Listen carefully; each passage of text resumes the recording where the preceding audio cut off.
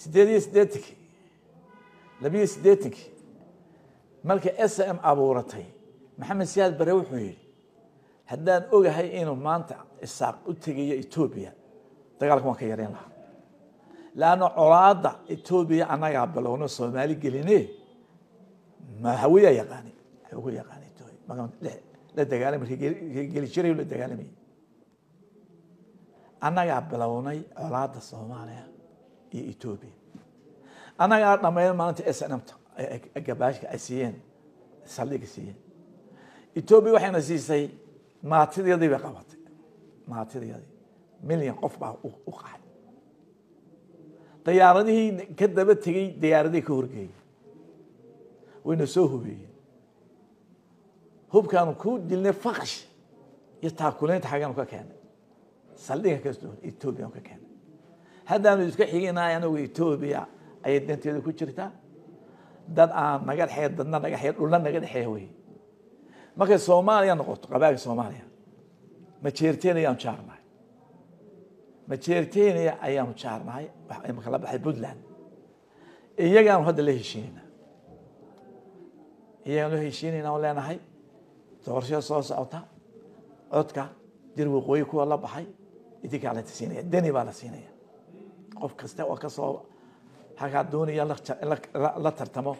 Waxaan aan dowlamo garanayn aan dhaqan lahayn aan weligood ahaad aan taariikh intaas soomaali taarikh laga sheegayo.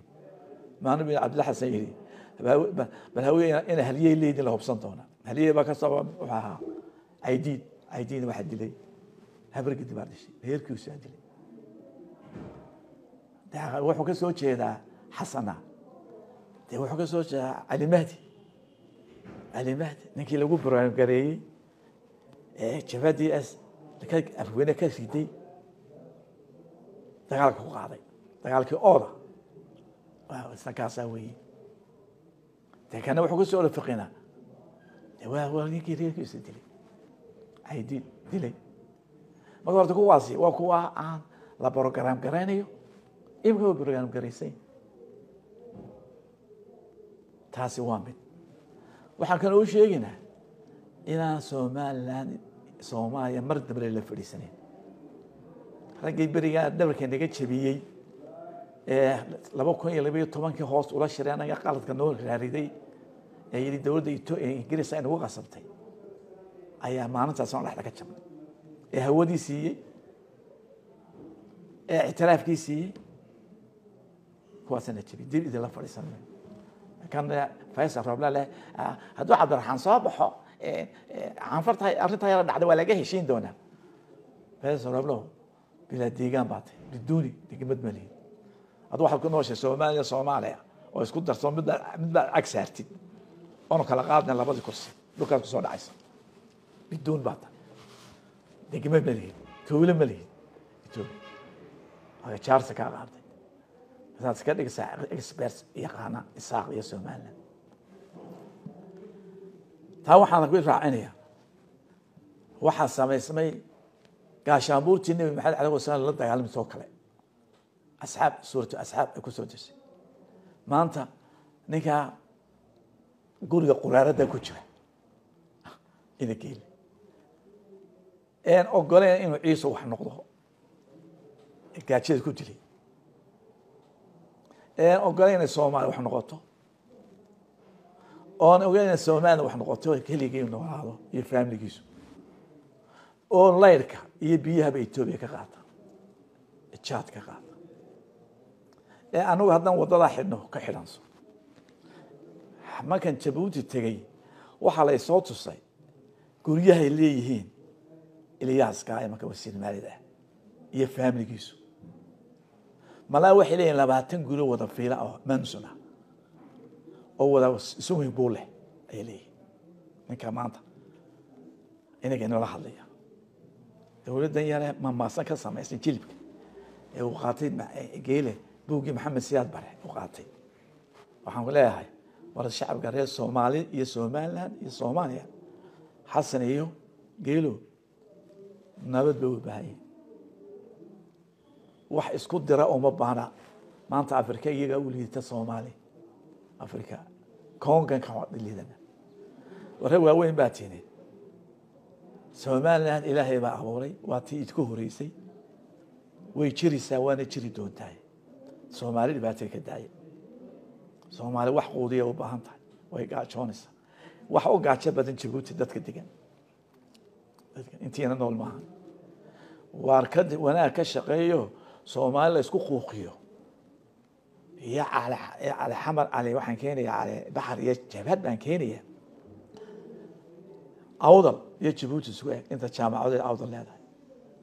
Dadka awdal e siman aan reer dusha ka fushaneen inta wada leeda eg waa loo soo tacliintaga waa loo soo dalxiisaga cali baar awdal reer guuraa maaha seera lascanoode waa beereley waa ilbax dantooda waad ceeboobaysaa ya godob baad u soo hoynaysaa ciise jabuuti mabaasidiina xukuumadda maafiyada ayna geeli waxaan leeyahay ka daaya waxaan leeyahay kan bilaamac ahee xasan sheekhna war xasan sheekho somaliland ma burburin kartid ilaahay barsigane reerka hawiye la iyo reerka reer somaliland ka daa colaadooda abuurina xaaraan bay somaliland joojin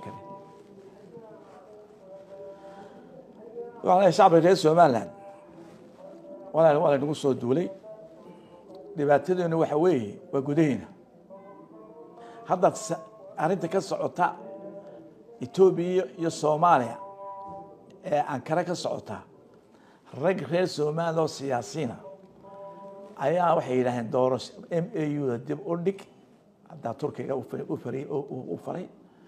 Annagaa soo baxayna doorashada.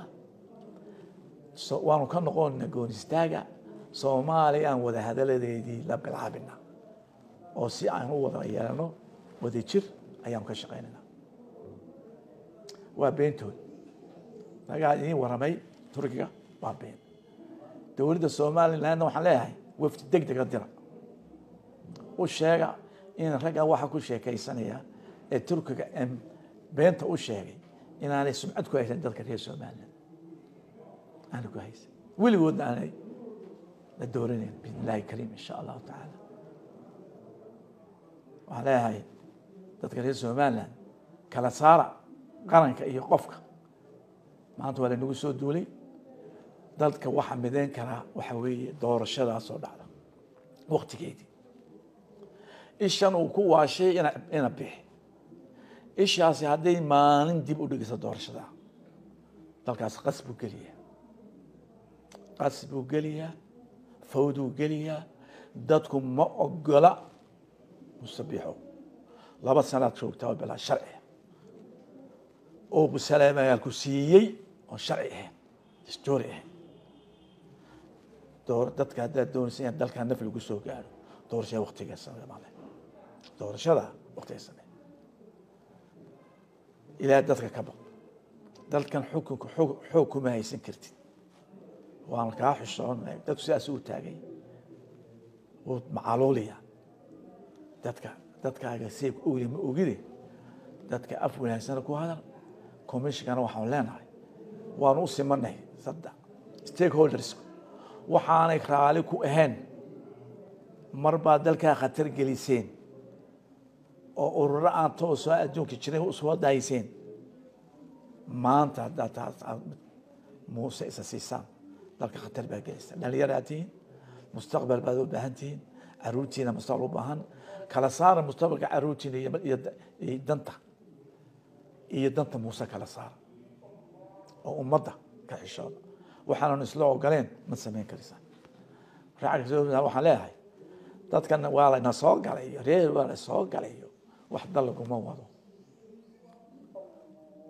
Dowlad ba ahaan jirteen kulmiyow tio bal waxa qabateen afar iyo tobankii sana soo sheega bal waxaad leedahay maanta waan qabana dadka u sheegay. Laakiin afar oday baa imi waa la isoo galay reer baa isoo galay. Dad laguma wadiyo.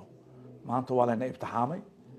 Qof kastaba maanta somaliland uu ogyahay saddexdeeda musharaxa qof kastaba halkuu iska taagay qadiyadda somaliland iyo cadowga ku soo duulay iyo walaweynta dadku maaha kii shalay maaha kii shalay maaha boqol kiiba shan iyo toddobaatan waa dhalinyaro mustaqbal bay doonayaan. Hooyada fadhida qudrada iibinaysa. Mustaqbalay doonaysaa. Nabad bay doonaysaa.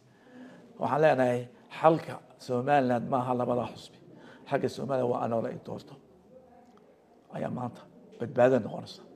Ha isqaxinina ninety fourka waa isqaxisaan ninety fourka dib inoo nagu celiyey saasaan leeyahay walaalayaal insha allahu tacaala waan ka adkaan doonaa gabdhahaan isqabsanaa madaxweynaha waxaa leeyahay war saddex xusbi isku keen guddiyadii isku keen wada jir aynu wajahno gaashaanbuurtan xaqdarada isku isku urursatay waa xaqdare waa tabtii nebi maxamed alayhi salaam suuratu asaab ku soo baxday ayaan taaganahay waxaan leenahay reer majeerteen iyo amba puntlandow isku keen keena inagaa derisa darisnimadeena iyo xididnimadeena inagaas haddaan ugu horeysa hawiya guurkooda.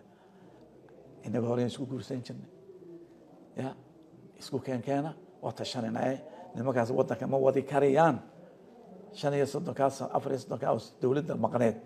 Dalka waxaa baabiyey somaliland iyo soomaaliyaba waa hogaanka aan u qalmin ayaa baabiyey. Waxaa leeyahay shacbiga haweenah yaanu godob idiin soo sheegin fiqi iyo xasan iyo godobta iska daaya somaliland bal dhibaatada u leedahay dalla xora oo la calankiisii qaatay lix iyo labaatankii oo nabada oo barwaaqo ah bal dhibaatadii soomaali u leedahay annagaba faraha ka qaad noo soo sheegay waxa magac xaasidka iska daaya waa ku baxsateen maalinta diyaaradaha laga soo tarxiilay sacuudiga waatii la gaarkacay loo diiday puntland diiday annagaa qaabilnay intii haweyahay haweya waxaad maanta isku ogtiin brita ma oga wasiir khaarijiya waxaa ii sheegay hore muslim two thousand sixka ii sheegay. Oo yiri waxaad maanta isku ogtiin haweya ma oga brito tii baa ii dhawowday. Marka waxaan leeyahay. Walaalayaal soomaali nolol bay u baahan tahay. Nabadgelya u baahan tahay soomaali meel kasta joogto. Ilaa n f d ilaa jabuuti ummadda wanaag ugu taliya. Annagu wanaag baanu ka shaqaynaa weligeeda dulmi maanu samayn dulmiga naga daaya war dulmiga naga daaya war dulmiga ilaahay baa qofkiila dulmo u heliye war ilaahay ha ka hor imanina qadarka ilahay ha ka hor imanina wasalaamu calaykum waraxmatullahi wabarakatu